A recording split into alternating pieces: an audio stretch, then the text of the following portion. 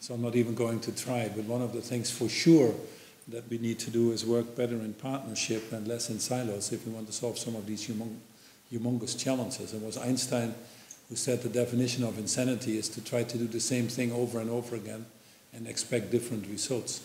It's obviously not going to work. We need to start figuring out how we work differently. If capitalism or not is something that is uh, viable long term is not really uh, the question to me. It is really how do we evolve it? Whatever name you give it, you can decide yourself. It's actually of the least importance to me. But I definitely think it needs to be involved, uh, evolved, and I'll talk about that.